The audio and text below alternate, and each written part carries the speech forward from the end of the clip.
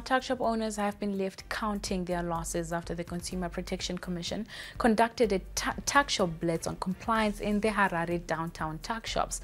The blitz, which was conducted from the 14th to the 15th of March, saw the commission with various stakeholders that include Zimra conducting checks and seizing smuggled goods from tuck shops along Leopold Takawira, Rezende, Charter Road as well as Mbare.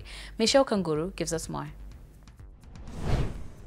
The tuck shops here in downtown Harare have proven to be more popular than the formal retail outlets. They are spreading across the city and dominating business. Most people shop here because of the relatively low prices, but authorities have raised concern over the standard of some of the goods.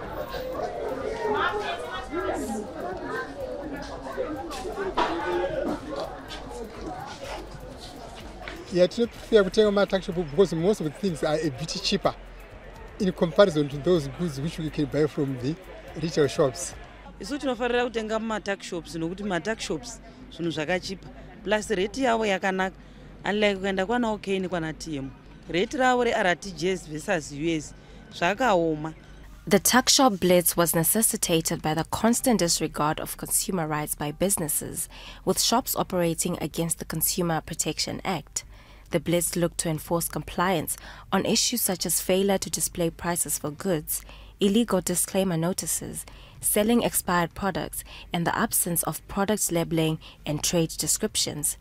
The raids discovered over 3,374 2 litre bottles of Mazoe Orange Crush and 61 cases of 350 millilitres of Mama's tomato sauce, which was smuggled into the country.